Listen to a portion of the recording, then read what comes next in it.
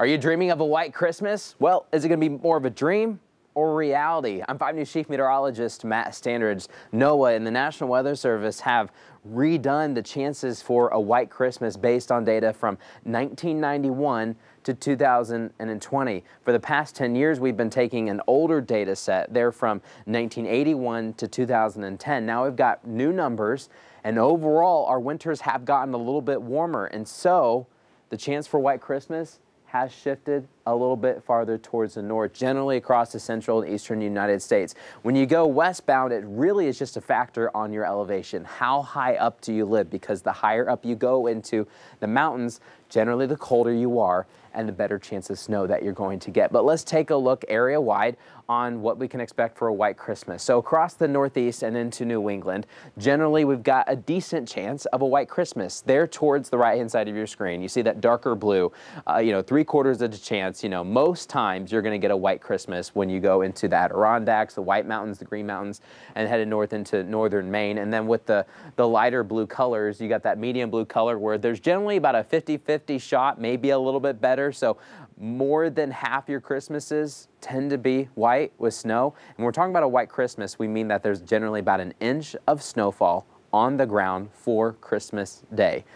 In that medium color, that happens about half the time or greater. So we've got a good chance there in parts of western New York off of Lake Erie and Lake Ontario where you get that lake effect snow and some of the Allegheny Mountains as you're south and west of uh, Albany and then even some of the southern fringes of the White and Green Mountains in western Massachusetts, you get that too. But notice once you get closer to the coast, the chance of a white Christmas starts to go down. That's generally because the Atlantic Ocean is warmer. And so when these systems come in, a lot of times in December where we haven't completely cooled down like we're going to go into January and February, it's still a little bit warmer along the coast, and that's why you get kind of a sharp cutoff. You go from you know Albany, which we got about a 50-50% shot, to New York City, where generally one or two out of every 10 Christmases are white, so the chances go a lot lower as you get closer to the coast. And then that happens as you get closer to Washington, D.C. and Baltimore, as you get more of that mid-Atlantic influence from the ocean. In the southeast, the chances are essentially slim to none. Unless there's just a rare storm, most likely Christmas is going to be green or brown. Now, the only exception will be in the higher terrain areas of the Appalachians, but we're talking about only one or two Christmases every 10 years in western portions of North Carolina, eastern Tennessee, in the very highest uh, mountain ranges there. And that's not really impacting a whole bunch of people. That's mainly you're looking at the mountains and you can maybe see some snow on top if you get a system to come in that's cold enough and that's positioned just right. Otherwise, it's going to be warm for Christmas Day. In the central United States, we've noticed that line where we get maybe a small chance for a white Christmas to essentially really not a chance of a white Christmas. That transition has lifted off farther towards the north. In parts of the Ozarks, we can get a white Christmas, maybe one or two uh, Christmases every 10 years. You got to go mainly north of I-70 north or really towards I-80 across the Corn Belt in order to get a better chance of a white Christmas. Farther towards the north, we don't have really terrain influences.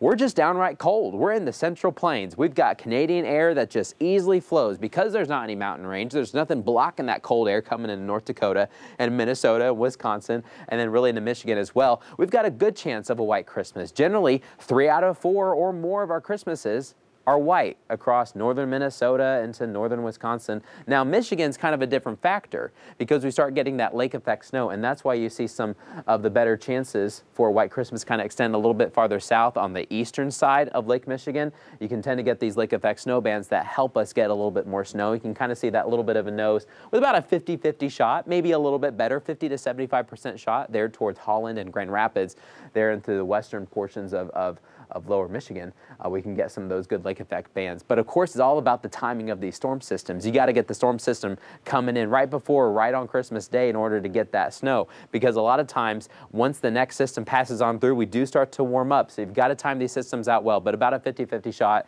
across Michigan. And then across the Corn Belt, really a line there towards I-80, so Des Moines northbound, we've got about a 50-50 shot. You go westbound towards the Rockies and some of the coastal ranges, it's all about elevation.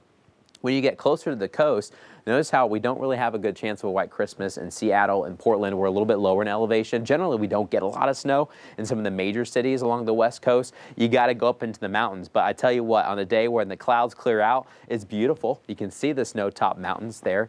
Uh, you can see Olympia has probably some snow on it. You go east and you see some of the Cascades having the snow on them as well. And it's pretty much a for sure uh, sign that you're going to have a white Christmas when you look off north into the mountains. Once you get a few thousand feet higher into elevation, you're going to get a white Christmas because generally this time of year in the, the late fall, early winter months, we get these systems that are just coming in one after the other off the Pacific coast. This is our wet season for the West. In fact, we've noticed some good drought conditions starting to uh, erode a little bit. It's starting to get a little bit better when we're talking about the drought situation across Washington, Oregon, Idaho, and south into California because this is our wet time of year. So we need to get as much snowpack as possible. You got the snowpack when you go higher up, and that is the case once you go into Montana and Idaho. And on this map, we, we have some terrain that you can kind of see when you look through the colors. When you see the higher terrain, you see the chance for uh, the better chance for snow. But you look in eastern Washington, we don't have as much terrain. In fact, we kind of have some desert conditions in eastern Washington. It's not as po uh, populated once you head east of the Cascades, but we do have at least a small chance for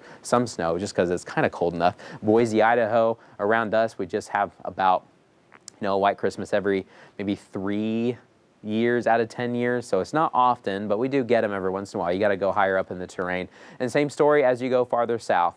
You're talking about California, it's not where most people live. We're not talking about LA, San Diego, San Francisco. Forget about the white Christmas. It's just too warm. Sometimes we can have a wet Christmas, especially north of Los Angeles as you go towards San Francisco and Fresno and Sacramento, where we're a little bit warmer. We get those systems coming in. But you look at the Sierra Nevada and it is beautiful. You look at the coastal ranges, ranges you can get a little bit of snow, but really the, the Sierra Nevada is better in order to get a white Christmas. At least you can see it. If you're close enough to the mountains, you can see the white tops. I guess we can count that for a white Christmas. Uh, but it's really all about terrain. And then Colorado, Utah, we're talking about higher terrain, getting the snow. Ski season has already begun for many, so they need the snow anyways, but white Christmases all across Colorado. Once you get out of the terrain though, once you hit Denver, chances start to go down. We can get really warm days and we can get really cold days here in the front range. And so that really depends on what system's coming through right for Christmas Day. It's about a 50-50 shot sometimes there towards Colorado Springs and Denver, but once you get into the mountains, of course the mountains are beautiful. They're already snow-capped. Same story as you head farther south. Even portions of the desert southwest can have uh, white Christmas higher up into the mountains. But what about Arkansas and Oklahoma specifically? Well, chances have gone down. The previous data set that we've used for the past 10 years, in fact, Fayetteville had about a 7% chance of a white Christmas. Fort Smith, about a 2% chance. Low, but not zero. The new data set with the newest numbers over the past 30 years, we really haven't had many white Christmases. We've had some way in the past throughout the 1900s, but recently we have not.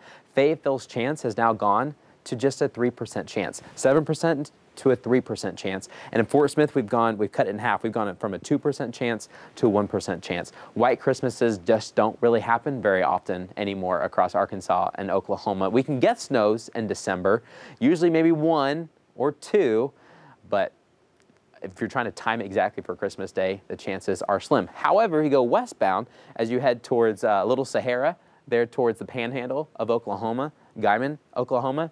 Sometimes we can get enough cool air to give us at least some snow showers that coat the ground with just a little bit of snow. And so that's why you see that dip. We, we can get some of that cooler air to try to move in. Once you move east of Oklahoma City towards Tulsa, Fort Smith, Fayetteville, and even into parts of Arkansas like, like Little Rock and Jonesboro and West Memphis and Arkadelphia, we generally have a little bit too much humidity and heat coming in from the Gulf of Mexico. The Gulf of Mexico wants to hold on with its, its warmer air across the area uh, and it kind of wins most of the time.